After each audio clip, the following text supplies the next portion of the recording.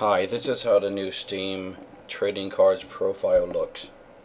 Right now I have a background that I got from leveling up my profile.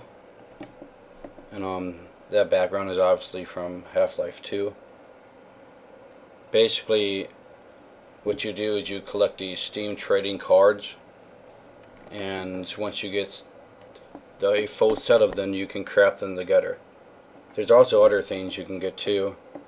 Here are some of the things I have gotten already. And say you're playing Team Fortress 2 and you just have the game open, I'm pretty sure you will start to get some drops. And you should get all the cards, which are I think six drops you get it when you first start. You get those automatically and you should get them within the first eight hours. Um, if you want to get more drops, there's things you can do. Um, one of the things I know for sure is if you buy stuff from the TF2 store, that you will get some uh, extra drops. I know a guy who's bought a lot of keys from the TF2 store, and I think he has over a few hundred drops, which is amazing. So, there's another way though you can um, get some cards. If you go to the Steam market you can buy them. And they're pretty cheap. They're around 30 cents each and they seem to be going down. They seem to be going down in price because there's so many coming out so.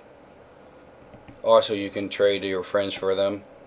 And um, any game you have that has the cards for that game you just open up the game and idle it and it will automatically drop you cards but you only have so many drops. Like I said six so you would have to get some more if you want to do it that way. Besides only using the six. Well here I have crafted these. And got a few items which is really nice. One of the things is you get extra slots on your friends. So that's pretty cool and I already had this in the beta version so that's why I'm at